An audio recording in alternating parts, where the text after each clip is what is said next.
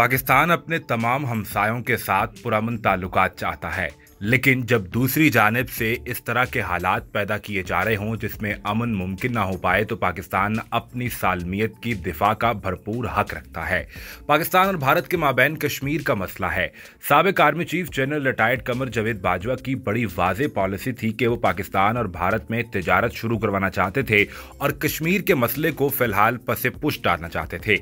इसी पर भारत थोड़ा शेर हुआ और आर्टिकल 370 ए को ख़त्म करते हुए कश्मीर की खसूसी हैसियत को ख़त्म कर दिया। यानी भारत ने यह ख्वाब देख लिया था कि अब वो मुकम्मल कश्मीर को हथिया लेगा। लेकिन क्या कश्मीरी भारत के साथ रह सकते हैं? भारत के अंदर जो मुस्लिम अकलीत मौजूद है, उनके साथ जो रवैया मोदी की फाशिस्ट गवर्नमेंट ने रखा है, उसकी मिसाल एक वीडियो से वाजे हो रही है। सोशल मीडिया पर वायरल होने वाली ये वीडियो आप देखिए और आपको ये अंदाज़ा हो जाएगा कि कैसे भारत में रहने वाली मुसलमान खातन को लिबास उतारने उतारने और अबाया उतारने पर मजबूर किया जा रहा है।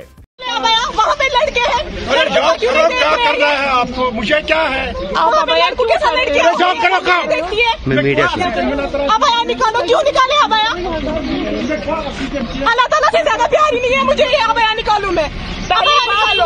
अंकल अंकल यहाँ पे आ जाओ यहाँ पे अबाया निकालो। मैं नहीं निकालने वाली वहाँ पे अबाया वहाँ पे इतने लड़के हैं कॉलेज में वहाँ पे इतनी दर्दरी हो रही है वो क्यों नहीं देती है ये? हमें बोल के अबाया निकालो। क्यों निकाले हम अबाया? होती को नहीं हमें बोलने वाले अबाया निकालो। हमारे अल्लाह का फरमान है, हमारे हजूर का फरमान है अबाया लगाओ।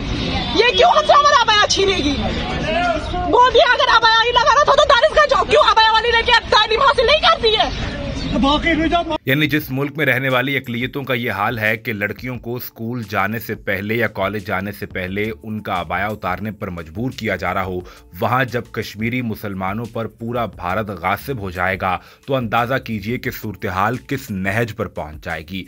पाकिस्तान अपने हमसाया ममालिक के साथ अच्छे तजारती ताल्लुक चाहता है, लेकिन कश्मीरियों और मुसलमानों पर इस तरह का जुल्म और बरबरीत कभी बर्दाश्त नहीं किए जाएँगे।